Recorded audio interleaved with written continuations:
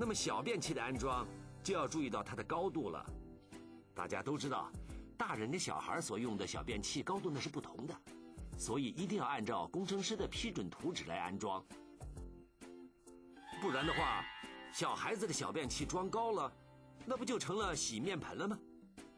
另外呢，小便器都可以采用自动感应的冲水装置，来保持厕所的卫生和加强环保意识。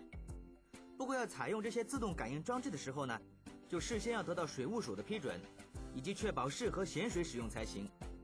工友首先要按照墨线与墙壁预留位置，来安装感应装置的藏墙部分。但是一定要记住，墙壁的厚度不可以少于一百 mm。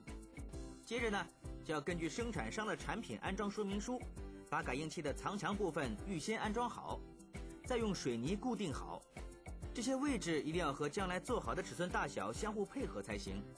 那整套自动感应装置一般都是由干电池供电的电子功能来操作的，所以不能受到太大的外来撞击，用手来大力拍都不行的。另外，也不能用水或带有酸性的洗剂来清洗，要不然它很容易受损。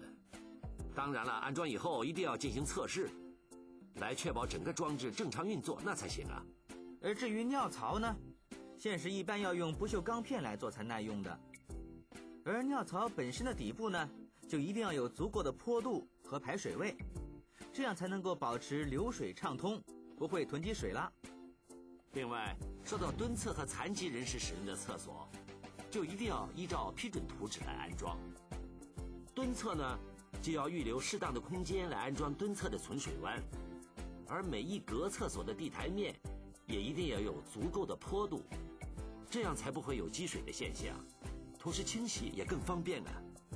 而残疾人士厕所所用的洁具都有特别的规格，因为要照顾到他们的需要，所以呢，在定料之前一定要得到工程师的批准，那才行。对呀，另外，所有坐便器、洗面盆和水龙头的安装，都一定要根据生产商的产品安装说明书和工程师批准的图纸来安装。厕所内部都要安装足够而且稳固的扶手给残疾人士使用，这些扶手对于残疾人士来说是相当的重要，所以千万不能马虎啊！还有厕所内记得要有地台排水，以方便日后的清洁呀。上完了厕所，当然要洗手啦。在安装洗面盆和洗涤盆之前，同样要先做样板。没错啊。洗面盆和水龙头的排水阀一定要有足够的空间，方便操作。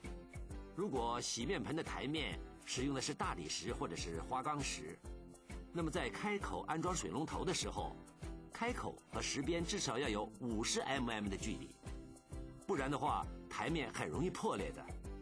还有在连接集水软管的时候呢，假阀的位置一定要准确。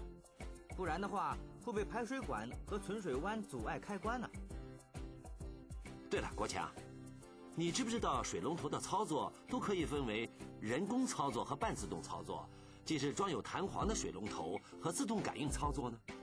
我当然知道了，弹簧水龙头和自动感应操作的水龙头一般都安装在公厕里面，因为呢，它们有自动停水的功能，不会因为忘了关水而造成浪费。至于安装洗地盆，要和橱柜相配合，洗地盆要接好地线，这样才能确保安全使用。而洗地盆的排水存水弯一定要便于清理，要不然堵塞的时候又没有办法清理，那就麻烦了。